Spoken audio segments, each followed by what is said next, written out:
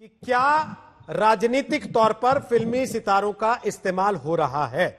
Sushant Singh Rajput case में क्या बॉलीवुड दो हिस्सों में बढ़ गया? एक बीजेपी के साथ और एक कांग्रेस और उसके सहयोगियों के साथ। सोनम महाजन, क्या इस्तेमाल हो रहा है कंगना रनौत का? बोलिएगा। रोहित जी, एक चीज़ तो बहुत ही स्पष्ट है।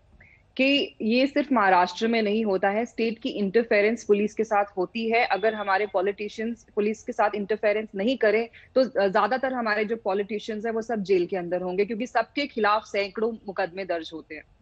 दूसरी बात ये सस्पिशन कहाँ से उठता है? क्योंकि कंगना जी जो है, सिर्फ़ सोशल मीडिया पे कुछ कह देने से कोई चीज़ साबित तो नहीं हो जाती। अगर आपको सच में लगता है कि कुछ लोग ड्रग्स लेते हैं या मुंबई पुलिस से उनको खतरा है तो आपको आप कोर्ट में केस फ़ाइल कर दीजिए।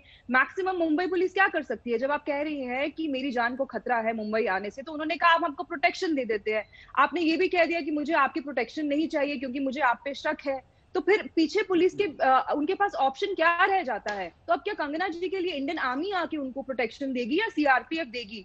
दूसरी बात ये कि आपने आप को पूरी आज़ादी होती है एक लोकतंत्र में, आप किसी पे भी सवाल उठा सकती हैं, नेता, पुलिस, कोई भी जो है वो आम आदमी के ऊपर नहीं है, सबकी औकात है, सबकी, सबके पास ये हक है कि आप सवाल उठाएँ, यहाँ हैसियत की कोई बात नहीं कर सकता।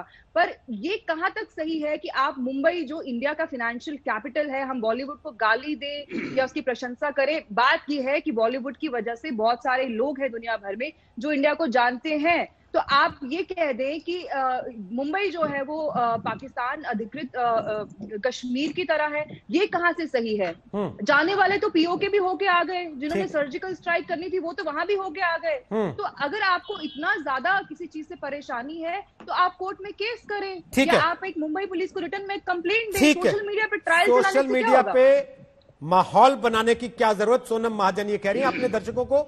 एक चीज़ बता रहा हूँ, गौरव भाटिया के पास जाने से पहले और प्राची अधिकारी के पास जाने से पहले, आप एक तस्वीर देख रहे हैं अपने टेलीविज़न स्क्रीन पर साइड में। बहुत सारे चेहरे आपको नज़र आ रहे हैं और नीचे नज़र आ रहा है हमारा जूम आईडी ये जूम आईडी और पासवर्ड हम आपको इसलिए दिखा रहे हैं कि आप अगर अपनी बात कहना चाहते हैं दंगल में तो इस जूम आईडी के ज़रिए आप हमसे कनेक्ट कर सकते हैं। कुछ ही मिनटों के बाद हम आप लोगों की बात सुनेंगे। इस मुद्दे पर आपको अपनी क्या राय देनी है। आप कंगना के साथ हैं आपको कंगना की बात में दम लगता है या फिर नहीं लगता? गौरव भाटिया, कंगना रनौत कहती है, मुंबई पीओ के जैसे लगने लगी है और क्योंकि शिवसेना से आपका तलाक हो गया तो आप तुरंत हामे हामे लाने लगते हैं। क्यों भाई?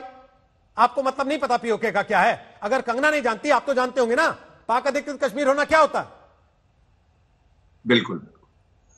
देखिए पहली बात तो आपने जो उठाई कि मुंबई पुलिस पे भरोसा क्यों नहीं? तो रोहित जी कंगना जी ने क्या गलत बात कही? उन्होंने एक बात कही, उस पर उन्हें धमकी दी जा रही है कि मुंबई मत आओ। अभी कहा जा रहा था, नहीं नहीं, संजय राउत तो हाथ जोड़ के कह रहे हैं, कंगना जी प्लीज़ मैं विनती करता हूँ, मैं गुजारिश करता हूँ, आप मुंबई मत आइएगा। अगर आ गए तो मैं सॉरी बोलूँगा, कोई बात नहीं, इतने सीधे हैं ये। अरे इंच टेप लेके ये सुशांत सिंह राजपूत और कंगना रनौत की हैसियत को जो है नाप रहे हैं। कभी शिवसेना ने इंचटेप लेके अपनी हैसियत को नापा है। अघाड़ी में, पिछवाड़े में रहने के बाद जो गठबंधन किया है, इनकी सोनिया सेना की औकात है आज। और बाला साहब ठाकरे श्रद्धे बाला साहब ठाकरे ने क्या कहा था? कांग्रेस से जाने से बेहतर है, कांग्रेस के साथ जाने से बेहतर है। मैं अपनी दुकान बंद कर लूँ। तो ये होते कौन है? बीजेपी और जेडीयू पे सवाल उठाए। अब हाँ। मुंबई पुलिस पे क्यों नहीं विश्वास होता? मैं बता दूँ। पहली बात छियासठ दिन तक जो एफआईआर नहीं कर पाई। सुशांत सिंह राजपूत के परिवार के साथ नहीं खड़ी हो पाई। रिया चक्रवर्ती जो पहली एक्यूज है प्रथम एक्यूज उसको सिक्योरिटी दे रही है। होम मिनिस्टर कह रहे हैं ये सुसाइड केस है पहले ही दिन। तो उनपे कौन विश्वास करेगा? और हाँ कंगना रनौत जी से आप सहमत हो या ना सहमत हो? हम्म। उनकी अभिव्यक्ति की आज़ादी है जो आपको सही लगेगा गौरव भाटिया ओके। ठीक है। ठीक है सर अभिव्यक्ति की आज़ादी में कल को कोई ये भी कह सकता है कि गौरव भाटिया का ड्रग टेस्ट कराओ या नासिर अब्दुल्ला का ड्रग टेस्ट कराओ? क्योंकि स्क्रीन पे देख के मुझे लगता है कि साहब ये ड्रग एडिक्ट है। सुनिए सुनिए क्यों नहीं कह सकता? नमस्कार मैं हूँ अंजना ओम कश्यप हमें उम्मीद है ये वीडियो आपको पसंद आया होगा।